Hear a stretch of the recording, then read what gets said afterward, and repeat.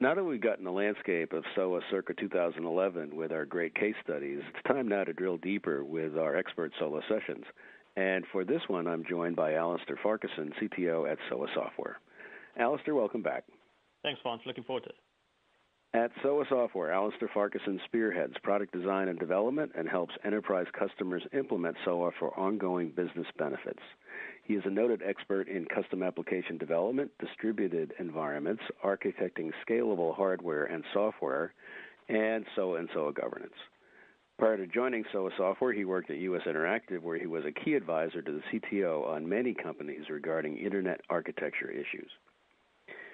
In his session, Best Practices for SOA Governance, Alistair describes three keys to successful SOA projects clear business alignment, measurable ROI, and a more agile IT environment. He also connects the dots to show how important it is to apply these keys across the whole SOA lifecycle, from design, development, test, deploy, and update. We'll see how SOA governance has become one of today's most popular ways companies are accomplishing this balancing act. Just a quick reminder if you haven't already done so, you can download Alistair's slides by clicking the download button at the right. And to ask a question, simply type into the submit a question box.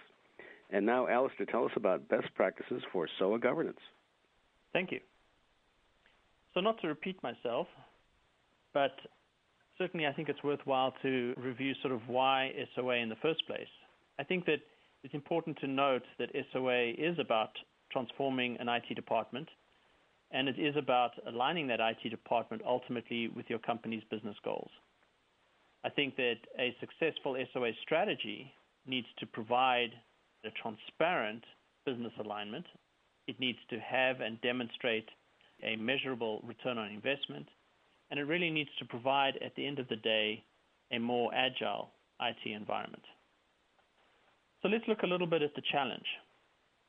The challenge that we found with SOA is that SOA is not about technology. It's really something that is about people and processes. So I would say that uh, a successful SOA strategy is one that aligns first people and processes and then ultimately takes care of a technology that is going to implement and manage those people and processes. So it's not primarily a technical problem and it cannot be solved by technology alone.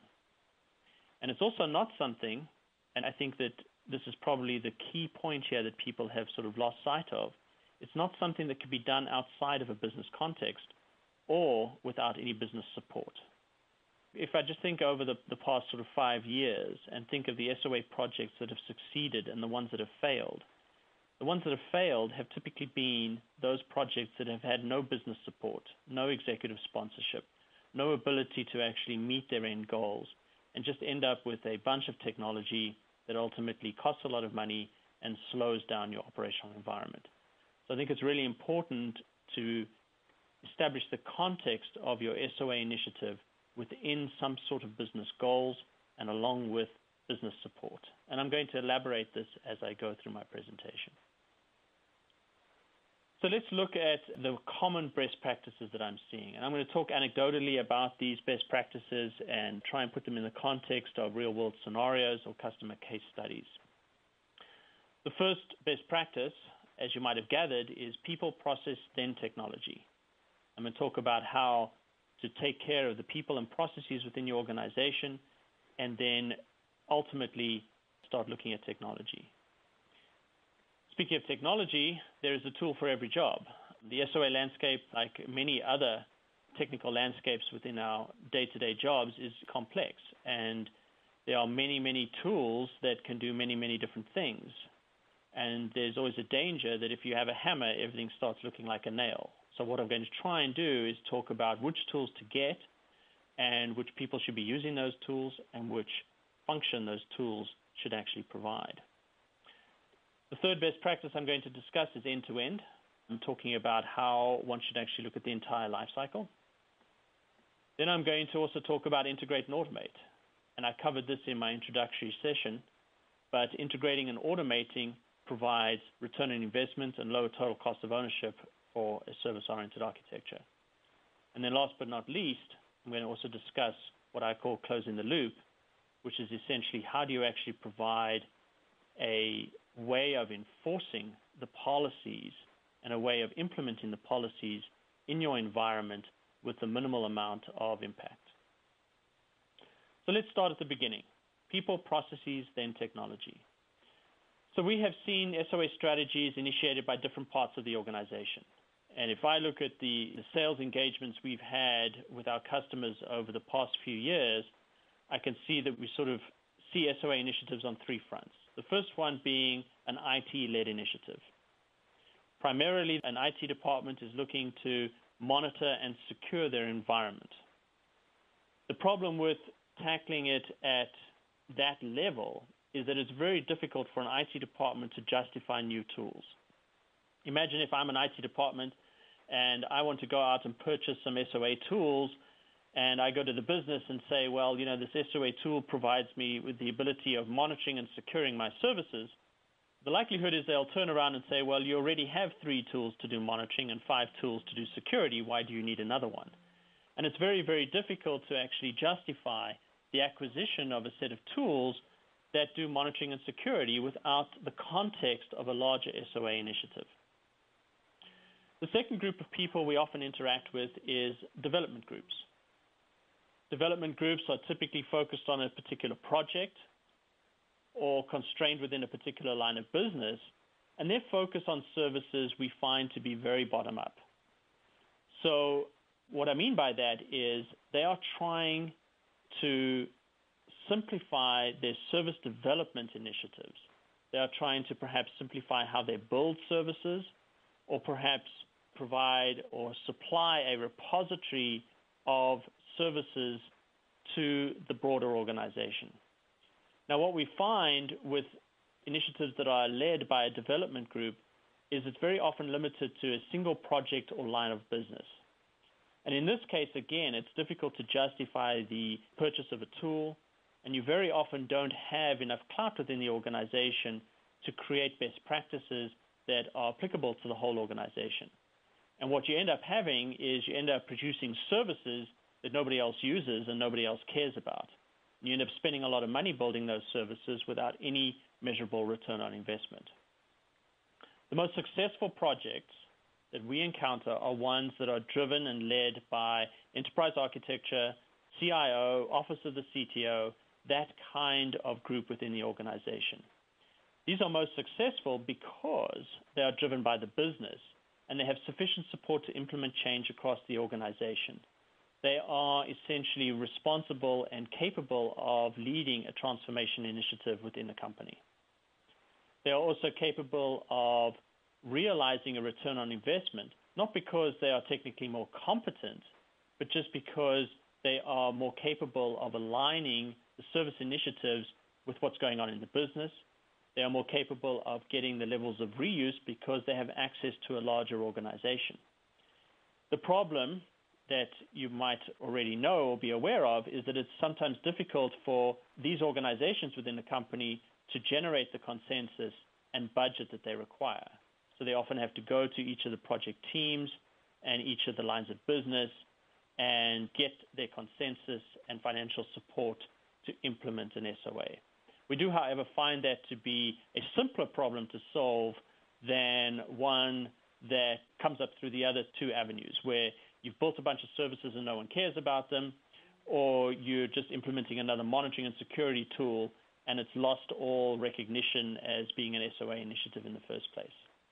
So our most successful projects are EA, CIO, Office of the CTO led, and that's simply because the problem is not one about technology, but rather one about people and process and business alignment, and in many cases, politics within an organization, simply because this is a strategic and transforming initiative within a company. So let's look at the next best practice, choosing the right tool for the job. So in my last slide, I harped on about people and process and getting the right sort of support within the organization. And I mentioned that tooling is tertiary to people and process within the company. That said, you still need to choose the right tools. And there's a lot of fear and uncertainty and doubt out there as to which tools to use and I think there's a lot of misrepresentation of tools in the marketplace. Before I go into the specific tools, let's just talk about why SOA initiatives actually need a technology investment. So it's really, really difficult to control people and to communicate a process without some medium to reach those people and a way to actually communicate that process.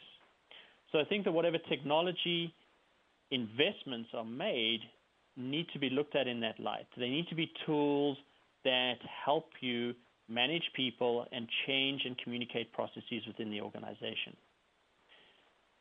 The second thing is, is the tools need to help you measure your return on investment. When you go into an SOA project, you're probably going to have to justify your own existence and establish some sort of criteria by which you're going to measure the success of this initiative at the end of a year or two years or six months. So the tools that you choose need to be able to actually provide that measurable return on investment. The tools also need to be able to automate and audit the governance processes that you put in place. I'll talk a little bit about automation later on when I talk about integrate and automate, but essentially automation actually adds to the return on investment and lowers the total cost of ownership of SOA. It simplifies the development processes that you put in place, and it actually offers a carrot back to the organization as to why you need to make a tool investment in the first place. When you look at tools, you need to look at the entire life cycle. Planning, development, and operational aspects all need to be considered, and they all need different tools. And as I mentioned, I'll also get to this later on when I talk about the entire life cycle. The danger that exists is that choosing the wrong tools or having the wrong focus can really put an organization down a rat hole. You can spend a lot of time analyzing a tool or spending a lot of time trying to get that square peg to fit in that round hole to implement whatever development processes and governance processes you want to put into place. So it's really important that you choose the right tool.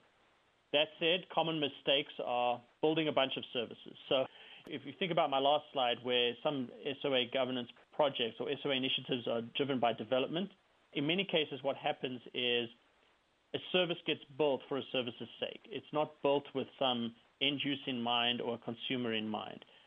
So in many cases, many failures can be related to just building a bunch of services that nobody uses at the end of the day. Another common mistake is looking at the architecture as a homogeneous entity as opposed to a heterogeneous entity. Most of our customers are heterogeneous. They have multiple platforms, multiple ESBs, multiple BPM tools, multiple development environments. So the SOA problem as a whole is a heterogeneous one. If you tackle a particular line of business or a particular development organization, the danger is that you would tackle it with a single technology in mind. And the processes and practices you put into place will not apply to other technologies within the organization. And that's a danger as well. The other danger is forcing consolidation and standardization using an ESB. I believe that an ESB is a bit of a misnomer in that it is not an enterprise service bus. It's very, very difficult to consolidate and standardize on a single ESB within an organization. Simply because organizations are heterogeneous and every single platform vendor offers their own ESB. So just by the general nature of developers and the general nature of organizations, you will end up with more than one ESB.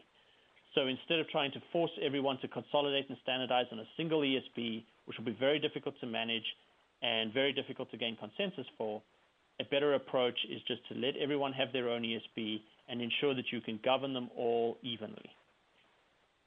The last common mistake we find is that registries and repositories have a special purpose and a particular target audience.